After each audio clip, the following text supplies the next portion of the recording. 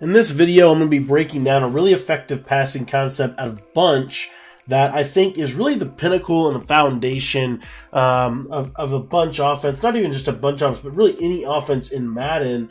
And I want to talk about it because I think that we're getting to the point in the year where it's really important to return uh, to simplicity if possible. And so I want to show you a simple play out of Gun Bunch that has been good for years and continues to be effective. It will beat man coverage and zone coverage as well. And the play comes to us out of the West Coast playbook. The play is called Deep Corner. Now, This is one of the best plays from Bunch year in and year out. It's one of the most versatile plays because it contains a lot of really powerful routes. It has a deep in route to the backside receiver. It has a skinny post to the bunch outside bunch receiver and a corner route, one of the best corner routes in the game. And so, with just really minor adjustments, you're going to see that we're going to be able to make this play really, really powerful. So the setup for this play is actually fairly simple. Um, but guys, I do want to let you know that I'm releasing a West Coast Bunch offensive ebook today. If you want to get my full West Coast Bunch offensive ebook, please make sure to join our Patreon. It's only $10 to become a member, and you'll get access to all of my Madden 23 offensive and defensive ebooks. We have an entire library of ebooks over there. I think this is going to make our 18th ebook of the Madden 23 season.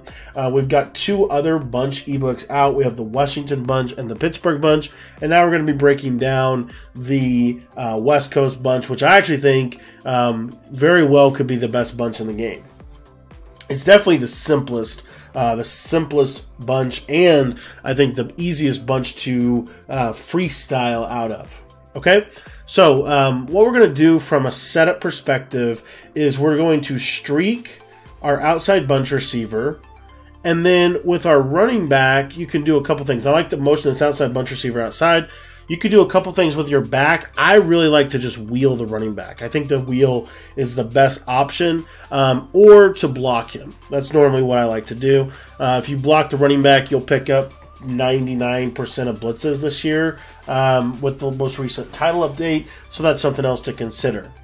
Our first read on the play, we always want to look to the flat. If we can hit that flat, what we want to do is we want to high ball outside pass lead this flat route. If they are not playing a hard flat on the outside, then we need to throw the flat. We need to trust the flat. If he does not lurk it, we have to throw that and make them respect the fact that we will take our five yards and we will force them to have to um, to have to play hard flats. What this does is you'll see here it forces them to play hard flats, and now this corner route becomes wide open in behind this. Now, um, this corner route is such a simple route this year, um, but it is really important in your offense because I think the corner route is arguably the best man and zone beater year in and year out, but especially this year. So you see right here again, a corner route against zone if they're playing hard flats, that's going to be wide open, as you can see. Now, the next uh, coverage that I want to walk you through is just a cover two zone, just to show you a cloud flat. So let's say that they hard flat uh, and they cloud flat, right? A double flat, if you will. Um, you know, this is something that you know really good defenses do. They're going to try to double flat to take away your underneath route and your over top route.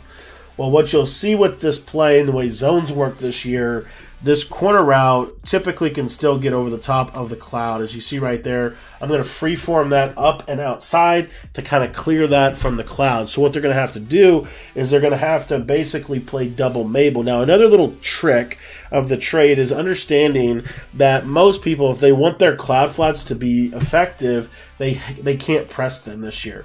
Pressed cloud flats are some of the worst zones I've ever seen.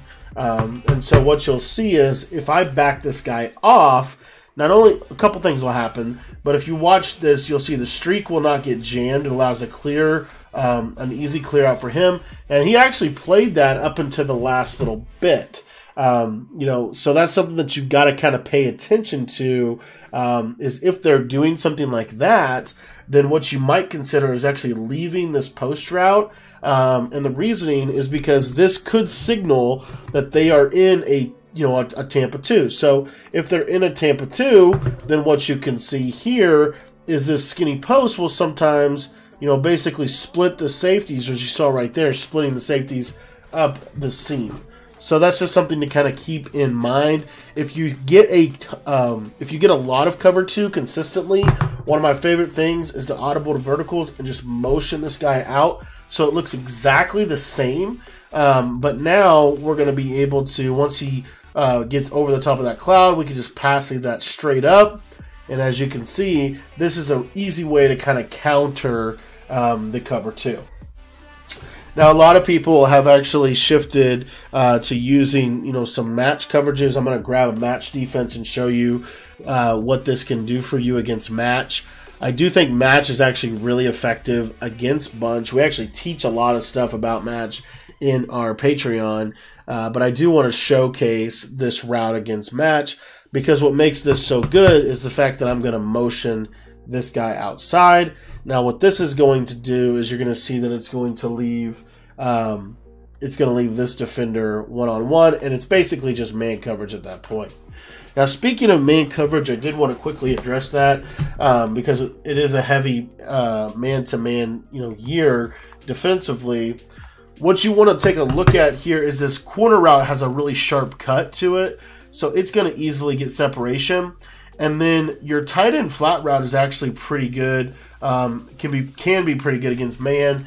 And then the even the the streak on the outside, the streak's probably one of the best routes, you know, this year because what a lot of people are going to be doing is, you know, you might play somebody that is going to shade underneath because they're trying to stop these aggressive catches and all that stuff. Well, by having a simple play like this, or even the wheel route to the back, these are simple ways um, you know, that you're going to be able. You saw there the circle was wide open, uh, and of course the in route's going to be wide open as well.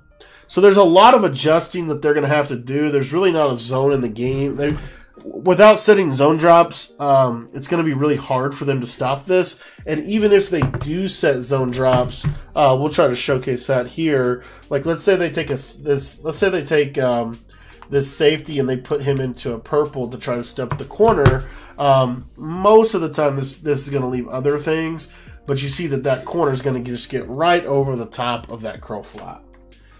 So that is deep corner, guys. It's one of my favorite plays. It's really a simple play, um, and I do think that it's important, you know, in this year's game to try to keep things simple and um, do what works because it's really actually very difficult to stop it. You know, you want to understand when you're running a play, what is it that the defense has to do to actually defend all of the options that I have on this play? And that's going to help you kind of inform you how you create uh, the rest of your offense. So, anyways, that being said, if you want to learn more about the West Coast offense and you want to get my full West Coast offensive ebook, I would really encourage you to join our Patreon. It's only $10 to become a member. And like I said, you're going to get access to all of my Madden 23 offensive and defensive ebooks, as well as all the updates and any new ebooks that release while your membership is active. Thanks for watching the video. And if you want to sign up, head down to the description and click the link down below.